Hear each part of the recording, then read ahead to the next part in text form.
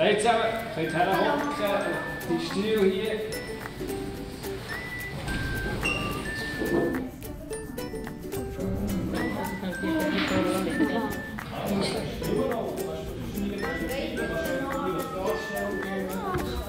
Oha, das ist dumm.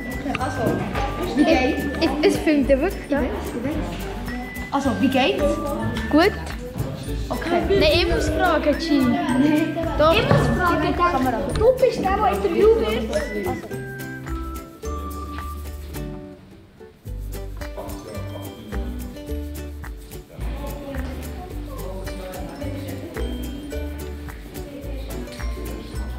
Hörst du mich? Hörst du mich? Gut. Ja.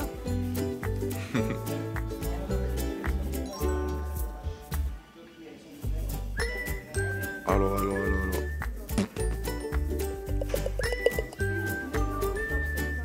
Ähm, was war Ihr erster Verein, wo Sie gespielt haben? Äh, mein Stammverein ist der FC Etoile Bio. Also, wo ich eben jetzt wohne in Bio, ja. Wie hast du es geschafft, so gross zu werden?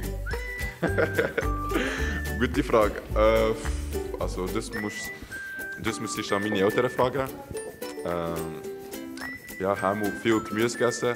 Nein, Spaß, aber. Nein, weiß ich auch nicht. Ja, ich auch nicht. Dank meine Eltern, ja. Hast du eine Freundin? Nein, habe ich nicht. Seid ihr schon von klein auf Innenverteidiger gewesen? Nein, also früher bin ich auch Goalie. Gewesen. Ich bin sogar als Goalie äh, beibekommen. Und nachher habe ich mich ja entschieden, äh, Verteidiger zu werden. Ja. Was ist euer Lieblingsverteidiger?